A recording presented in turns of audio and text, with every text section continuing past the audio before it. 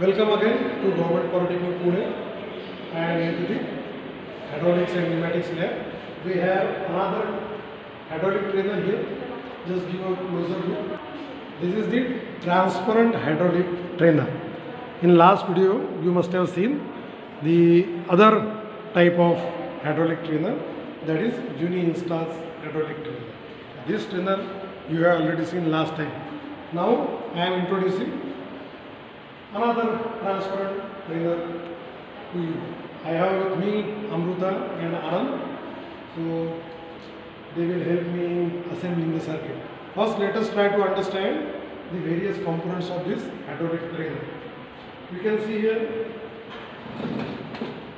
here is the tank on which there is a pump having electric motor, pressure gauge, relief valve, all those kinds of things are there. Oil level indicator. So this will supply us the pressurized oil.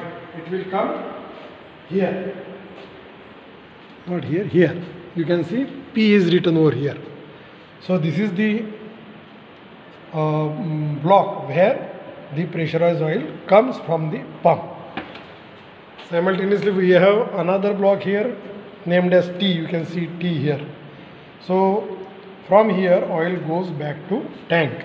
If you want to measure pressure, then we can connect pressure gauge into that line. So, I will now introduce the other components on this trainer. As you can see, this is the linear actuator. It's a double acting cylinder you can see the symbol also this is another actuator double acting itself having two ports we generally call it as A and B. And here we can give the falling load type to this uh, actuator. So if I apply load over here and then this actuator becomes the falling type of load right come here. What is this? Can you identify the symbol? Yes, uh, flow control valve. right. So see the symbol here. This is the flow control valve so we have two ports here which the flow passing through this port is controlled by this needle. Needle. so this is a flow control valve what is this? Now symbol is, not shown here. It was there but it's a how many ports are there? One two three. four five right and how many positions? See one two three. So which type of valve it is Five by three. 5 by 3 hydraulic. Le- detent this is detent right so we have three slots in which this lever fits in. What is this? Pilot operated check valve. Right, this is pilot operated check valve. So it's a normal check valve provided with pilot port. Now can you identify the pilot port here from these names? See what is written over here? P, P. This is A, and this is B. right. So you can see A to B supply. These are the normal two ports. Is like this.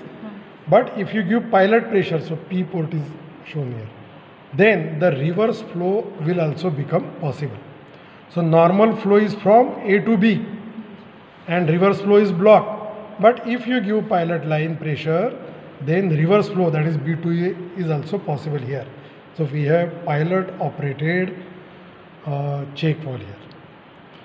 So this we call it as a distributor. If you want to give power supply rather rather pressurized oil to more than one places, then we have these two connections. So one connection can be used for one actuator. This can be used for another actuator, of course, through a DC valve. Now concentrate here. This is a deceleration valve or as you can see in this uh, symbol, it's lever operated not lever, uh, it's roller operated.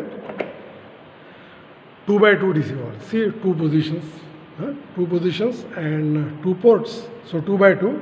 So if something comes forward and presses this uh, valve roller, then its position will change.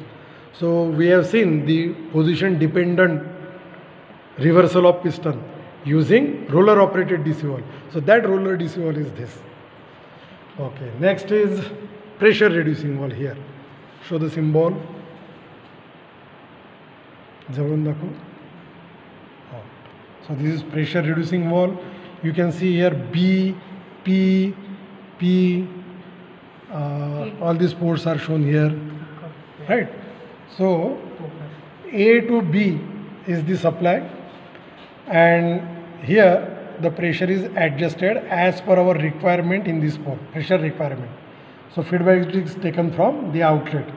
It is internal feedback from but from outlet, so that we can adjust, and that much pressure will be going to port B.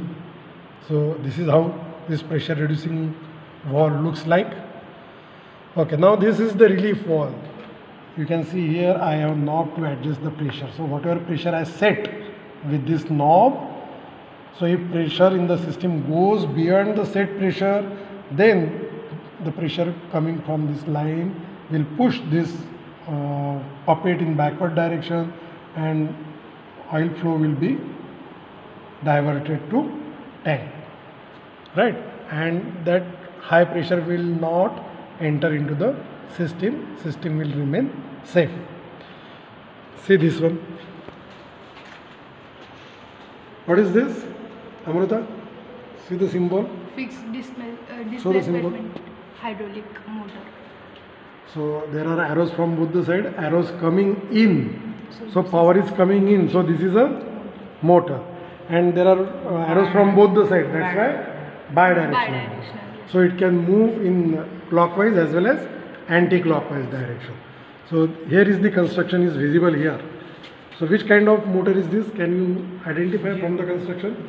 Gear rotor. Right. Gear rotor or gear rotor. Correct. Next is check valve again here. Huh? check valve simple. Check valve Simple check. and this is of course another flow control valve yes this is something for adjustment. So this is a check valve okay. Pressure. So everything we have now covered. What is this this remaining? Sequence valve right? Yes. so again we can set pressure with this knob whatever pressure we want in another port. So normally the oil supply will go into the first actuator maybe that actuator. So we'll have to connect a T connection so normally it will go there. And whenever pressure in that line increases the pre- flow will be diverted through this port to another actuator so B port will get open so that pressure we can uh, set with the help of this adjusting knob this is the drain port. Can you see the leakage flow, whatever is taking place inside, that oil is taken back to the tank. So this is the drain port. You can see it's a external drain port. Separate pipeline is provided. There was no drain port here. This is the relief one, no? Because the outlet port is tank itself, so it is internally connected. Drain port is internally connected here. No separate or external drain port. So this is how oh, one more valve I can show you. Now tell me which type of valve it is. How many ports? One, two, three, four, five. And Five by but Nay, one. lever operated. Huh? It's not detent. That was detent type. This is lever operated. So this is how all the different components of hydraulic trainer are shown. Hydraulic system are shown on this train. Now we'll try to construct simple circuit and let's see how it functions.